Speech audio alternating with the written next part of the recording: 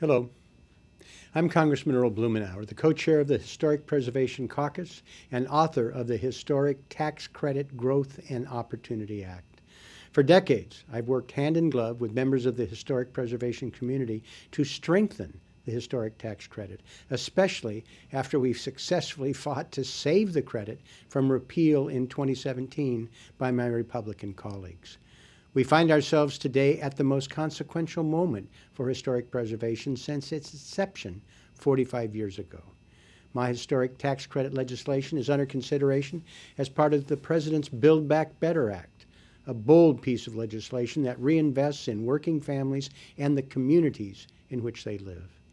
The President's legislation has been subject to intense negotiation and revisions, leaving the expansion of the credit hanging in the balance but I'm not giving up, and you can't either.